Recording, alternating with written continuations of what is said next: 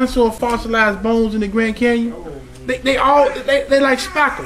Yeah, the end. Yeah, They, it's, they yeah. all in the walls of the Grand Canyon. That, that came from uh, uh, Earth mudslides. Turn, yep, that's where it came from. Dinosaurs are giants. That's why he killed beast and man because there was some crossbreeding going on, and things became giants. And well, the genetic engineered uh, uh, grapes we got today, the, the super big tomatoes.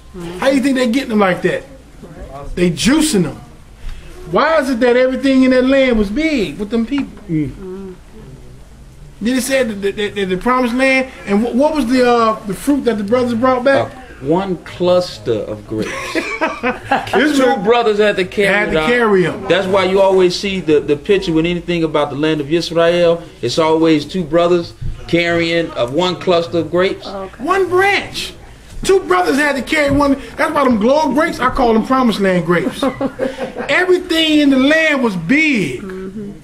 Everything was genetically engineered, crossbreeded, a uh, uh, uh, a freak of nature, what they call. Yeah, go ahead, sis. Was this like one land or or this was during one time? Well, this was during the time that we was coming out of the wilderness and we was going to go into the land.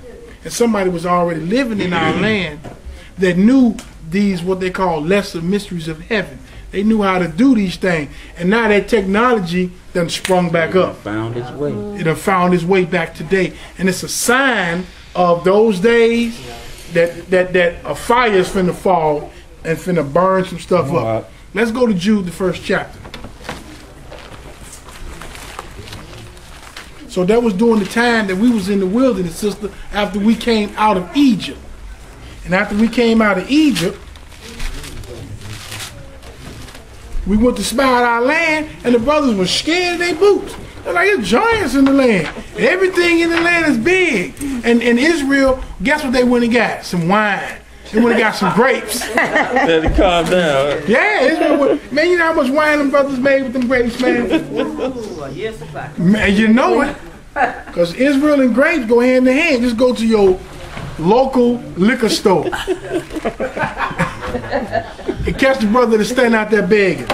He got Night Train on his breath from last year. Man, I just did a mm-hmm. gig with a guy, man. He was, we got paid. He was like, man, now I can go to the liquor store. See? It's a connection between Israel and that wine. There's something about Israel and that wine. Oh, boy. Pause the tape for one second.